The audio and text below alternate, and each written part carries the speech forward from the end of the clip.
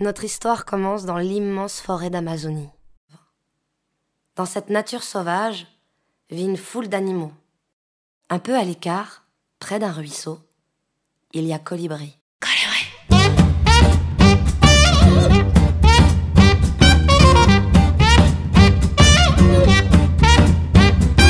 Dans la forêt des colibris, il y avait un grand incendie, feu, des flammes, du vent, des cris, tous les amis des colibris.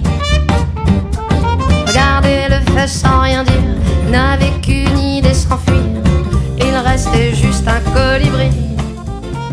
Quand euh, Actes Sud et Colibri m'ont proposé le- de faire le- le- le- la narration du- de la BD et euh, ils m'ont demandé aussi de fabriquer avec euh, bah, c'est Ilan Abou et, euh, et Thierry Fort qui fait, euh, avec qui on a fait deux chansons où les revenus bah, de, de cette chanson vont aller à, à- à l'association Colibri aussi pour fabriquer des faire plein de projets. C'est une, une- une association qui promeut un autre système de société dans l'éducation, l'économie, l'agriculture, l'habitat, enfin tout, tout ce qui, tout ce qui fait une société.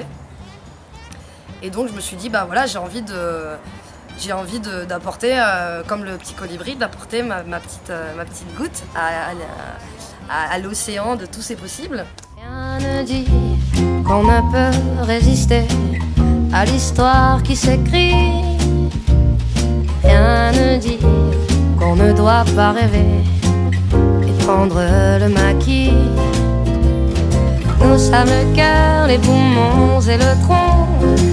Nous sommes l'ardeur, les forces et la passion. Nous sommes le risque, la peur et la raison. Nous sommes l'unique chance que nous avons. Nous voilà, nous sommes en vie. La révolution des colibris.